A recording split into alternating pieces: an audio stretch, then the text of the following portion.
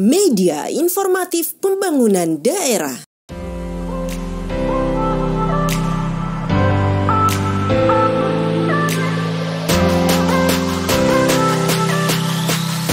Akper Mapa Odang Makassar bekerja sama dengan pemerintah Kabupaten Polewali Mandar atau Polman melaksanakan kegiatan simulasi disaster nursing siaga bencana tahun akademik 2020-2021 di wisata Pantai Mampie, Desa Galeso, Kecamatan Wonomulyo, Minggu 28 Maret 2021.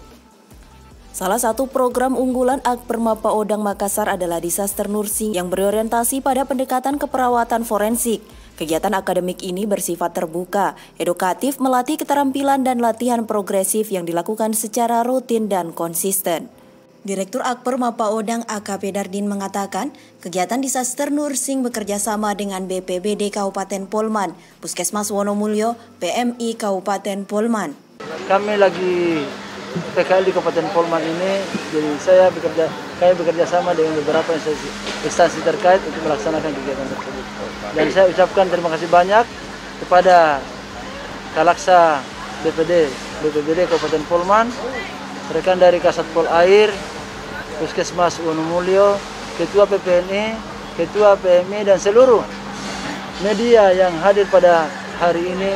Saya ucapkan terima kasih banyak atas partisipasinya dan dukungan sehingga suksesnya acara tersebut. Kepala Badan Penanggulangan Bencana Daerah Andi Avandi Rahman mengucapkan terima kasih atas dilaksanakannya kegiatan ini. Dengan adanya kegiatan ini diharapkan suatu kolaborasi terbentuk, sehingga peningkatan kapasitas dan kapabilitas semua stakeholder terkait bisa teruji dan menjadi salah satu bentuk mitigasi kesiapsiagaan dalam hal penanganan bencana.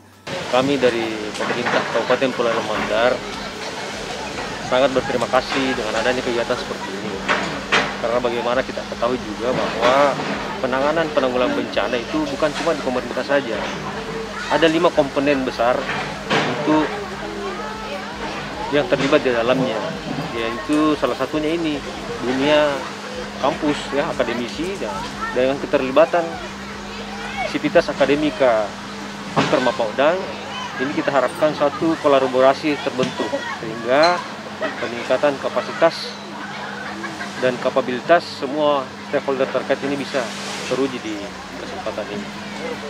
Karena kegiatan di kesempatan ini adalah satu salah satu bentuk mitigasi kesiapsiagaan kita dalam hal penanganan bencana. Tentu di kesempatan ini adalah satu satu jenis bencana, kemudian untuk jenis bencana-bencana lain kita harapkan juga ada partisipasi dari pihak lain yang bisa bekerja sama dengan kita semua untuk penanggulangan bencana, termasuk untuk bencana banjir dan tanah longsor. Sementara itu, Teti Wali dan Ade Astuti, mahasiswi PKL Akper Mapa Odang Makassar mengucapkan apresiasinya selama menjalankan PKL di Kabupaten Polewali Mandar. Uh, kita mendapatkan banyak pengalaman dan juga uh, banyak pengalaman yang menarik sehingga kita bisa uh, lebih lagi meningkatkan uh, dan juga uh, mengembangkan ilmu yang telah kita dapatkan dari simulasi disaster nasional ini.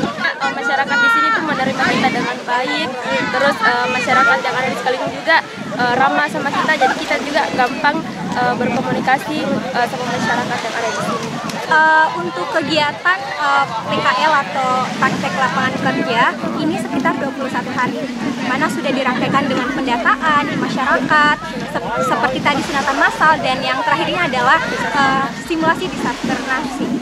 Polman Jago. Tim Warta Kominfo SP Polewali Mandar.